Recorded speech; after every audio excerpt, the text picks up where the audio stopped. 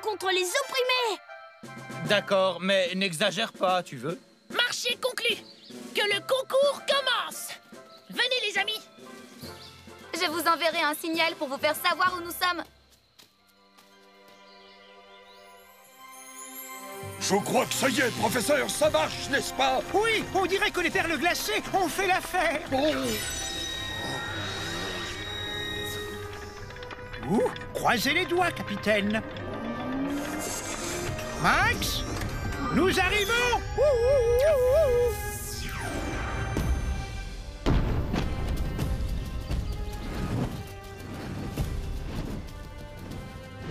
Mais qu'est-ce qu'elles ont, ces plantes? Elles nous en veulent ou quoi?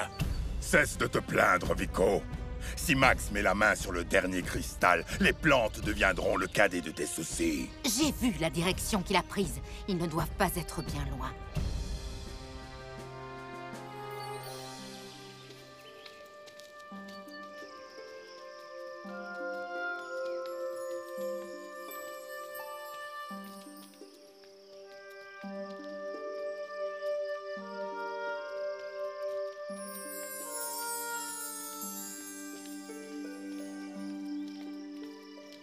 C'est tellement paisible. Peut-être parce que nos petits amis ne sont pas là. Exact.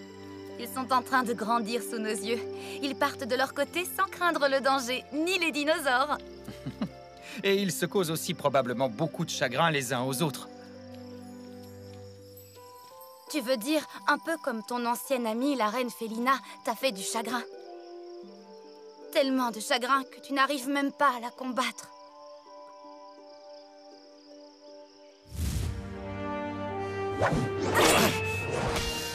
Pourquoi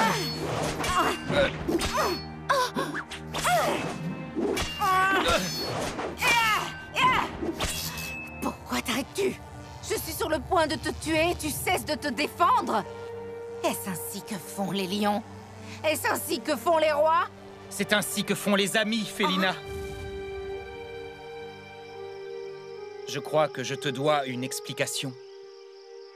Je n'ai pas fait le rapprochement quand nous avons découvert que Félina était l'allié du maître des ténèbres. Ça ne m'a même pas traversé l'esprit. Peut-être parce que ça a été si court. Si court? Le temps que j'ai passé avec elle. Nous n'avons été amis que pendant une seule saison.